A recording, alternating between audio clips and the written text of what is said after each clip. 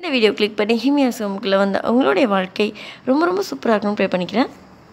இன்றைக்கி இந்த எம்மி எம்மியான ரோஸ் மில்க் கேக் எப்படி செய்யலான்னு பார்க்கலாமா? இது வந்து நான் சில்ட்ரன்ஸ் டே அன்றைக்கி தான் செஞ்சேன் பட் பிங்க் கலரில் வரும்னு பார்த்தா பிங்க் கலரில் வரல. அது ஏன் அப்படின்னு சொல்லிட்டு நான் லாஸ்ட்டாக சொல்கிறேன் இது வந்து ரொம்ப சூப்பராக இருக்கும் ஆனால் ரொம்ப சாஃப்டான ஸ்பான்ஷான கேக் என்னோடய ஃபோன் வந்து ரிப்பேர் அதனால் இன்றைக்கி தான் என்னால் அப்லோட் பண்ண முடிஞ்சுது. ஸோ இது எப்படி செய்யலான்னு பார்க்கலாம். ஃபஸ்ட்டு வந்து ரெண்டு முட்டை வந்து இதுக்கு எடுத்துக்கிறேன். என் சின்ன பையன் தான் வந்து உடைக்கிறான் பட் உள்ளே விழுந்தோன்னு ஓடிட்டான். சரி சில்ட்ரன்ஸ் டே அன்னைக்கு குட்டிஸ் வச்சு செய்யலாம் அப்படின்னு பார்த்தேன் பட் அது செட் ஆகல. ரெண்டு முட்டை நான் இப்போ உடச்சி ஊற்றிக்கிறேன் அதுக்கப்புறம் பீட்டர் வச்சு நல்லா பீட் பண்ணிக்கிறேன். இது இல்லைன்னா பிரச்சனை இல்லை நீங்கள் விஸ்க் வச்சு நல்லா அடித்து விட்டாலே போதும். அது கொஞ்சம் எக்ஸ்ட்ரா டைம் ஆகும். இப்போ வந்து நல்லா அடிச்சிட்டேன். இப்போ வந்து ஒரு கப் அளவுக்கு சர்க்கரையை வந்து பொடி பண்ணி வச்சுருக்கேன். வந்து போட்டு போட்டு அதையும் சேர்த்து பீட் பண்ணிக்கிறேன். நல்லா கலந்து விட்டுக்கிறேன்.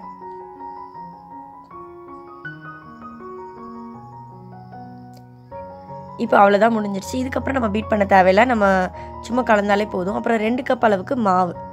மைதா மாவு வந்து ரெண்டு கப் ஒரு கப் சர்க்கரைக்கு ரெண்டு கப் மாவு. இதுதான் எப்போவுமே கேக்கோட மெஷர்மெண்ட்டு அப்புறம் ஒரு ஸ்பூன் அளவுக்கு பேக்கிங் பவுடர் ஹாஃப் ஸ்பூன் அளவுக்கு பேக்கிங் சோடா இதையும் போட்டுட்டு நல்லா மிக்ஸ் பண்ணிக்கலாம். அப்புறம் ஒரு டேபிள் ஸ்பூன் அளவுக்கு எண்ணெய் ஊற்றிட்டு இப்போ நம்ம அந்த கன்சிஸ்டன்சிக்காக கொஞ்சம் கொஞ்சமாக பால் ஊற்றி மிக்ஸ் பண்ணணும். ரொம்ப திக்காக இருக்கும். ஸோ அதனால் இந்த இந்த மாதிரி வர அளவுக்கு பால் ஊற்றி மிக்ஸ் பண்ணிட்டோன்னா கரெக்டாக வந்துடும் இப்போ எசன்ஸ் ஊற்றணும் எப்பவுமே நான் வெண்ணிலா அந்த மாதிரி தான் ஊற்றுவேன் இன்றைக்கி நான் ரோஸ் மில்க் எசன்ஸ் ஊற்றலாம் பிங்க் கலரில் வரும் அப்படின்னு நினச்சி ஊற்றினேன் டேஸ்ட்டும் எனக்கு பிடிக்கும். அந்த அந்த ஸ்மெல் எனக்கு பிடிக்கும். அதனால் ஊற்றினேன் பட் பிங்க் கலரில் வரல. நான் ரெண்டு ஸ்பூன் ஊற்றினேன் பட் அந்த அளவுக்கு பிங்க் கலரில் வரல. ஒருவேளை இதில் வந்து சிரப்பில் வந்து சக்கரை இருந்ததுனால நான் எக்ஸ்ட்ரா அதுக்கு மேலே ஊற்ற முடியல என்னால். ஏன்னா ஆல்ரெடி நான் சக்கரை போட்டிருக்கேன். ஸோ நீங்கள் பிளெயின் எசன்ஸாக இருந்துச்சு. இனிப்பு இல்லாத எசன்ஸ் இருக்கும்ல அது இருந்துச்சுன்னா நீங்கள் இன்னும் கொஞ்சம் கூட ஊற்றலாம் பிங்க் கலரில் வரலாம். இப்போ நான் கொஞ்சம் செர்ரி வந்து கட் பண்ணி போட்டிருக்கேன். இப்போ மோல்டில் ஊற்றிடுறேன் இந்த மாதிரி மோல்டு இல்லைன்னா பிரச்சனை இல்லை. குட்டி குட்டி கிண்ணம் இருந்தால் கூட அதில் கூட நீங்கள் செய்யலாம். நான் கொஞ்சம் எண்ணெய் தடவிட்டு இதை ஊற்றிடுறேன் ஊற்றிட்டு கொஞ்சம் செர்ரிலாம் டெக்கரேஷனுக்கு வச்சேன். அப்புறம் ஒரு கடாயில் உப்பு வச்சுட்டு கல் உப்பு கொஞ்சம் போட்டுட்டு அதில் கொஞ்சம் ஆல்ரெடி கொஞ்சம் ஹீட் பண்ணிவிட்டு அதுக்கப்புறம் இதை வைக்கணும். வச்சுட்டு மூடிட்டு ஒரு ஹாஃப் அன் ஹவர் சிம்மில் வச்சிட்டிங்கன்னா இந்த மாதிரி நல்லா அழகாக வெந்து வந்துடும் வெந்துருச்சான்னு பார்த்துட்டு நம்ம இறக்கி வச்சுட்டு ஒரு half half an hour wait பண்ணோம் கொஞ்சம் அந்த ஹீட் போகிற வரைக்கும் வெயிட் பண்ணிவிட்டு ஒரு தட்டையில் கவுத்தணும் அப்படின்னா இந்த மாதிரி சூப்பரான கேக் வந்துடும் ரொம்ப ரொம்ப சாஃப்டாக இருந்துச்சு. செம்ம டேஸ்ட்டாக இருந்துச்சு. பட் பிங்க் கலரில் வரல. அது ஒன்று தான் எனக்கு வந்து ஒரு குறையாக இருந்துச்சு. செரி எல்லாமே அடியில் போயிடுச்சு. இப்போ நான் மேலே எதுவும் க்ரீம்லாம் ரெடி பண்ணலான்னு இது வந்து ஸ்பாஞ்ச் கேக் தான்.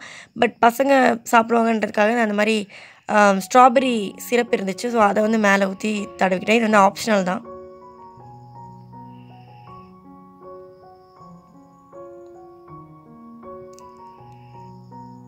இப்போ எல்லா பக்கமும் இதை வந்து ஸ்ப்ரெட் பண்ணி விட்டுட்டேன். இப்போ இவன் தான் வரான். இப்போ முட்டையை உடச்சிட்டு போனவன் இப்போ தான் வந்து இதை பண்ணிக்கிட்டு இருக்கான்.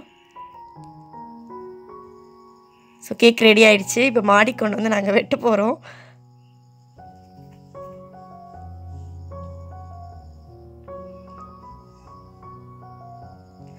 ரொம்ப ரொம்ப சாஃப்டாக செம்ம டேஸ்ட்டாக இருந்துச்சு. இந்த மாதிரி நீங்களும் ட்ரை பண்ணி பாருங்கள் ரொம்ப ஈஸியாக பண்ணிடலாம்.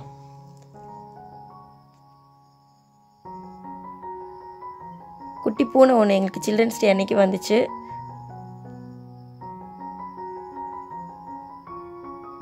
செம்ம சாஃப்டாக இருந்துச்சு கேக்கு ஸ்டூடெண்ட்ஸ்லாம் சாப்பிட்டுட்டு இருக்காங்க.